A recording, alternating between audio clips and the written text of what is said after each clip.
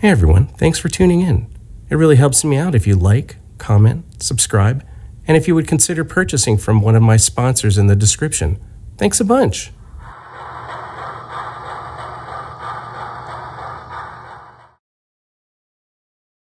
Today's episode is brought to you by Petsistence First Aid Kits. If you're like me, you love your pet. You take them with you if you can, you certainly care for them a ton at home. But just remember that no matter where you are, you are your pet's first responder. Like it or not, you are your pet's first line of care and perhaps only line of care. They depend on you to make sure that they stay happy and healthy, and the people at Petsistence have made sure to create a product that will help you do just that. With the help of veterinarians, the Petsistence First Aid Kit is a 60 plus piece first aid kit that comes in this handy carrying case. It's a soft carrying case that is meant to be as light as possible. The entire thing fits easily in your car or in any kind of suitcase you're going to use during your travels. The kit contains many bandages and wraps of all sizes for your pet, and it also contains things such as cleaning solution, Q-tips, combs, lancets, and a dog whistle. Here's a list of all the things included with the kit, and hopefully you will find it useful as I have. Remember, Petsistence for the first line of defense for your pet.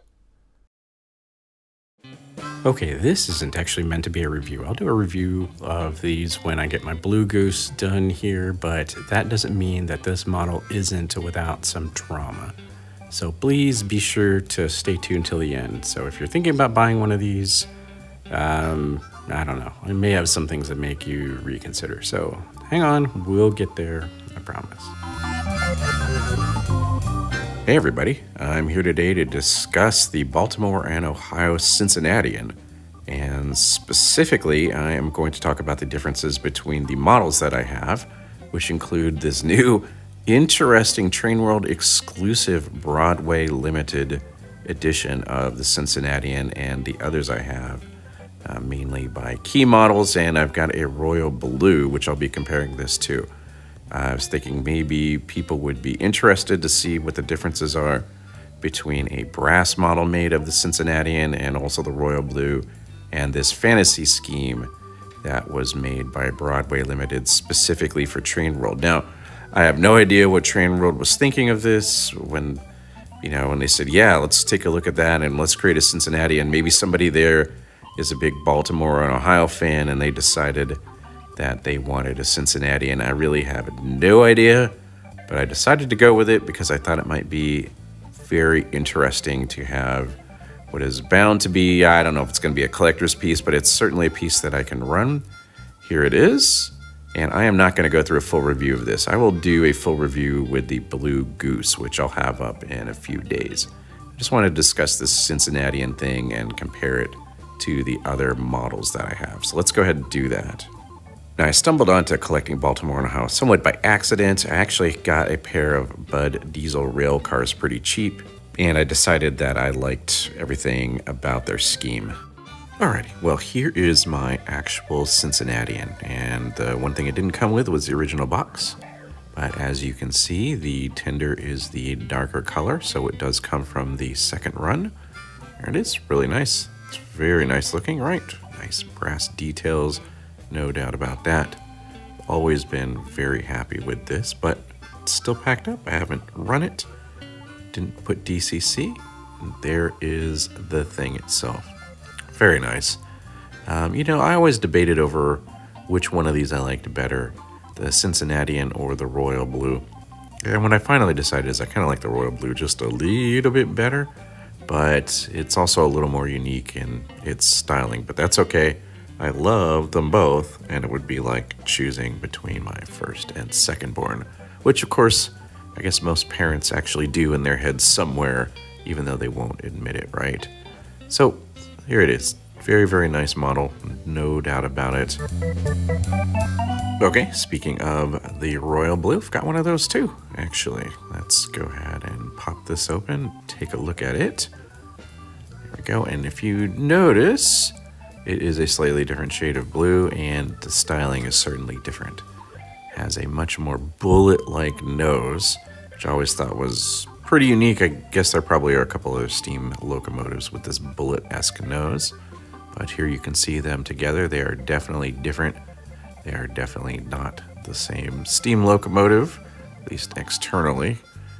And let's take a gander at the two tenders here real quick. Let me get this one out of here and I'll put them together. Again, very different styling, right? Um, very, very different. Uh, this one's more minimal, I suppose. grab the other one here. Here we go. All right, definitely not as angular in the paint job. Um, so they had different ideas. They're from a different era, different number of axles, that sort of thing.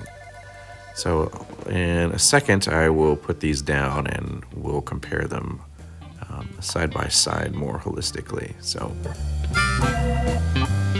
all right, here's the passenger consist that is going to run behind my Cincinnatian. And certainly for now, it'll be the Broadway Limited Cincinnatian. So let's take this all apart. And there are the cool names. And um, we'll, let's see, we'll actually put up here which ones go with which. Here's a nice diagram showing you where they should be on the cars. And here are the names of the cars, um, uh, each of the consists according to Wikipedia.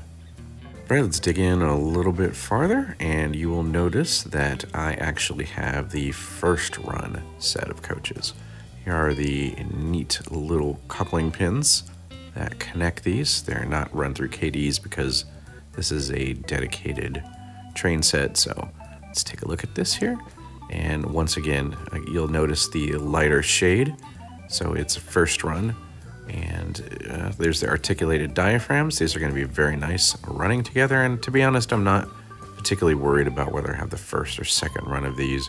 I picked these up relatively inexpensively, so that helps too. And I don't believe they were ever run. So that was another thing that I liked about them. So yep, they're not quite the correct color. And we'll see in a moment how they match up with um, the actual engine from both uh, the second run that I have and from Broadway Limited. But I don't think it's going to look particularly bad, especially when they're running at speed. So I'm just not worried about that. Let me just speed this up for you a little bit um, so that can see all of these and then we'll get to the observation car and I'll show that one off at normal speed again. Okay, here's the observation car. It's pretty nice. If you notice, there are no interior details on any of these, but I don't think that'll be too difficult for me to come up with. I think I'll have to just mess around with the 3D printer a little bit and rearrange some stuff, do some measurements of the windows. It won't be prototypical, but I won't be very worried about that. I'll just be worried about having interiors. So they are pretty nice. Um, yeah, I guess if I maybe would have known about the whole color difference, I would have waited till I would have found the later run, but frankly, I don't think it's going to change my enjoyment at all. Alright, let's go ahead and compare the color here, and you can see that yeah, they're, they're definitely not right. They're definitely off somewhat. Um, so I, I, just don't know, um, you know, what the B&O community, I'm not like a diehard B&O guy, I said, I sort of picked these up by accident in some way and started collecting them. But I think at speed, it's actually going to look pretty good behind this locomotive. All right, if you look, these are certainly closer together. Let's start comparing them. Here we go. Um, as you can see, already just a bunch of differences. Um, they are both streamlined true, and they both have somewhat that rounded um, nose, but other than that, they're very different, right? The lengths are clearly different, and it looks like the Blue Goose is ever so slightly wider too, right? So, and if you look, the top details are definitely different and they're not in the same place. Let's take a look at the front. The Blue Goose uh, nose is much, right, it's much uh, more protruding and um, it doesn't have that gentle slope like the actual B&O does. If you remember from the last view, the actual B&O had exposed cylinders, while the one here is uh, somewhat shrouded. It's under a shroud. Also, you can more clearly see the difference in, you know, the sloping of the very fronts of them, where basically the Blue Goose has that two-step. It has more of, I guess, a traditional pusher in front, and then it comes up flat, whereas B&O has more of a skirt that comes down fully angled. That, of course, changes the way that the handrails are bent. So, um, yeah, the, the ones from the B&O have that nice angle to them, and the ones from the Blue Goose do not. And of course, the way they bring air to vent into the smokestack region is much different, right? You can see that in both of these photos. Some of the other differences, right, are the number boards are in a way different place because of the, the way that these things are laid out. Um, there's the exposed whistle on the Blue Goose, which doesn't exist on the actual B&O Cincinnatian. And if we directly compare the fronts, you'll see how the paint scheme is just way different. They had to change um, the Blue Gooses to kind of accommodate its geometry, where I think it flows much more nicely with the original Cincinnatian. The running gear is obviously different, and uh, the actual B&O Cincinnatian has, you know, the inner hubs are painted, but the metal is exposed on the actual wheel itself, whereas uh, everything looks more single colored on the Blue Goose derivative. Right, and here we can see that they had to drastically change the way the tail ends of these things look in order to accommodate the shape of the Blue Goose. If you look at the actual Cincinnatian, Everything is sloped. Uh, if you look at the window on the front of the cab section there, it's sloped and all the paint matches up with it, where it just doesn't on the Blue Goose. It's, it looks, I don't know, they maybe should have squared it off and you don't even get that bottommost stripe out of it. Coming around to the back right, you can see that the actual Cincinnati has kind of a hump and then it goes into the circular section, which the Blue Goose does too, but that top flat area is much more pronounced. It's much taller. And uh, yeah, just, just the entire cab area is just completely different back here. Obviously, the tenders are just of a completely different ilk. If you can look, um, the Blue Goose derivative on the bottom there, um, looks like an oil tender, right? And the Cincinnatians is um, a coal tender, right? The trucks are completely different. They're both three axles but they're just completely different. And the actual Cincinnatian is much more squared off. You can see it from top here, just a much different idea overall. Here's an area of complete difference too. You can see the um, the original tender has a shroud placed over it in the actual Cincinnatian on the right, and it's just a purpose-built um, tender for the Blue Goose derivative. So very, very different it's very interesting to see how these things are considered and thought up when they do a fantasy type scheme. Okay, here's the comparison to the Royal Blue. And they look more similar in color. I think the Royal Blue used B&O Royal Blue, whereas the Cincinnatian used Regal Blue. So they should be different, but these certainly look closer than the Royal Blue to the key Cincinnatian that I have.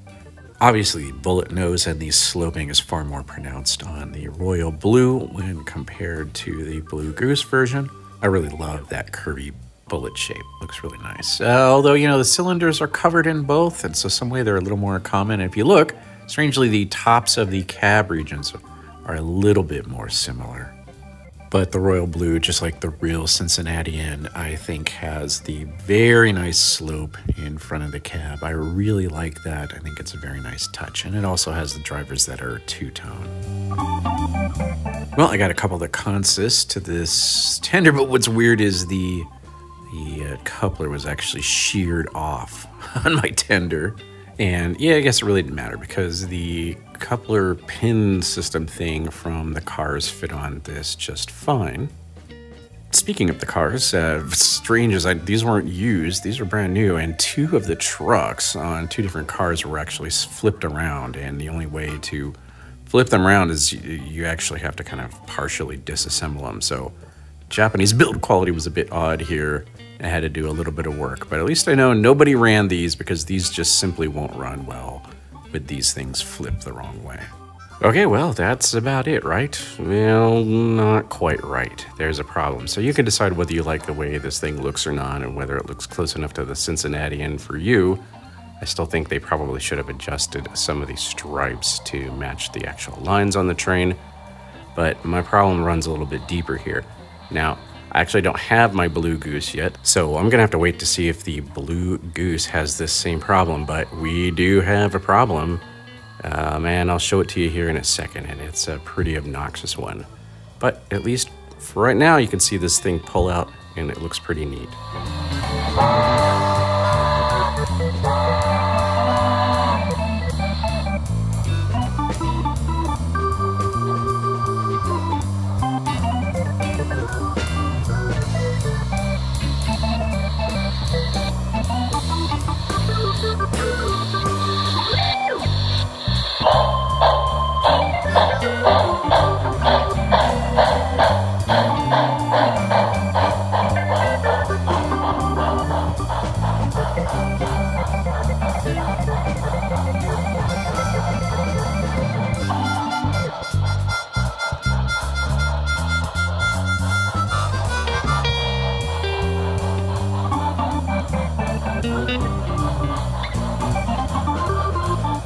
Okay, yay, it looks nice, but uh, I want you to take a look at this next clip as it comes around the corner and down the street, and maybe you can spot the problem.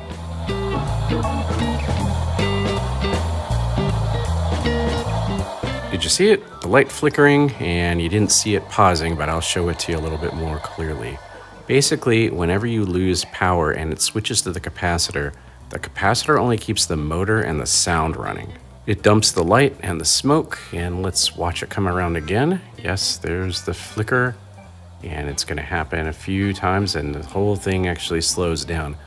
And you know, I don't have the greatest track, that's for sure, but this thing should be long enough to where at least it has some wheels picking up power all the time throughout both the engine and the tender together. Something should be grabbing power.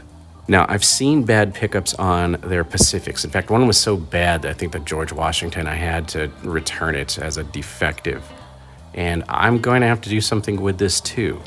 I can't believe this is still happening. In fact, a big part of the reason why they went to Paragon 4 is because those Pacifics were having pickup problems and they were never able to resolve them. Well, we've got the same issue here. In fact, sometimes this pickup issue is so bad it actually shorts out my controller and I have to reset it.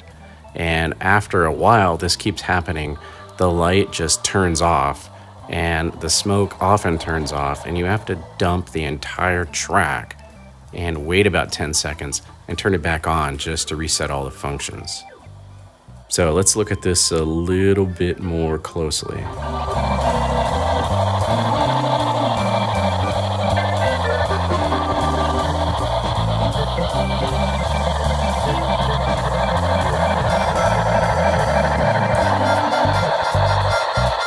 And I'm not sure. Shouldn't that light on the back of the cab be red? I'm not sure about that, so I guess it could be. But you saw it flicker. It is having a lot of problems. Let's go ahead and follow it around the track and watch for that flicker.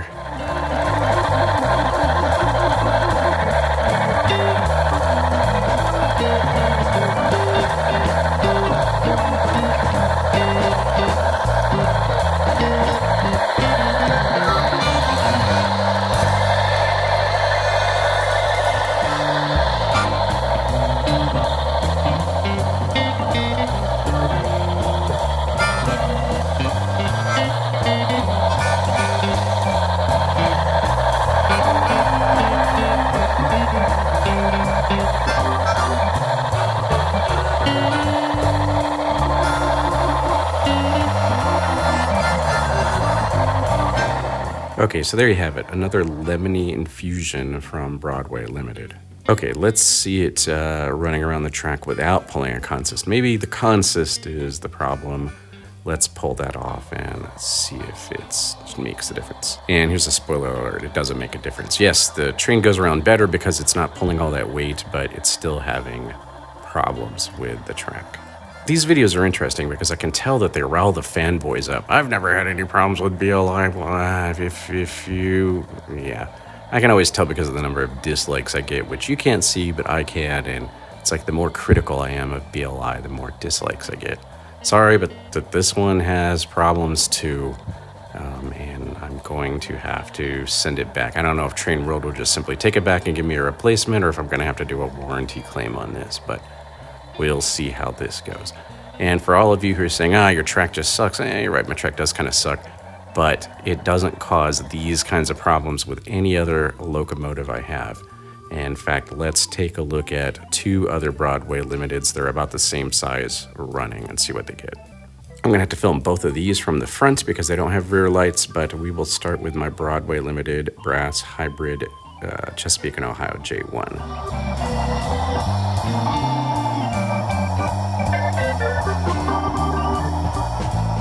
And I have to apologize in advance. It's much harder to go backwards with the camera than it is forward, but so it's going to be a little bit herky-jerky once in a while. But again, look for the light, see if it flickers on and off, and that'll tell you how it's handling my track.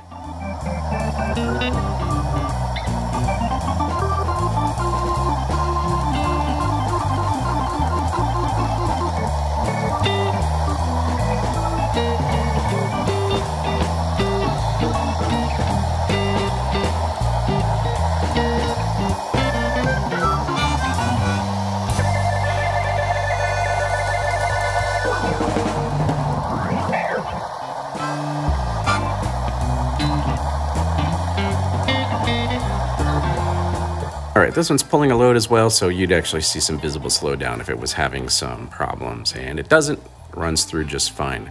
Let's go ahead and take a look at my Dreyfuss Hudson here, and we'll see if it has any problems.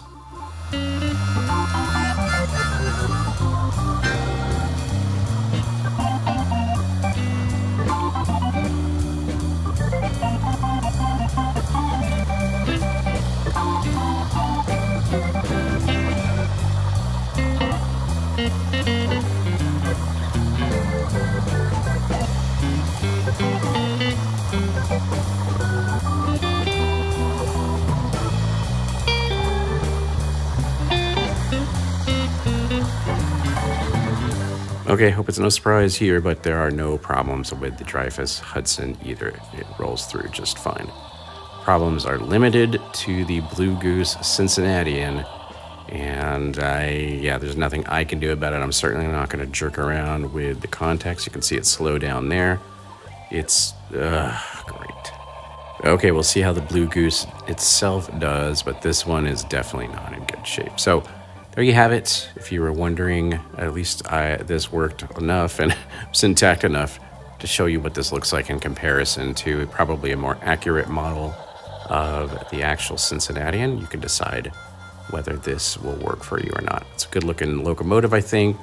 I just don't know if the lines quite work. It's sort of like when you take a coupe and you try to convert it to a roadster or a convertible. The lines just don't quite work that's kind of what's happening here, in my opinion.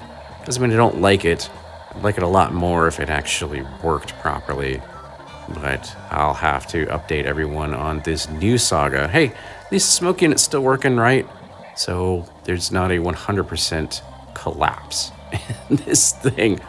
So, there.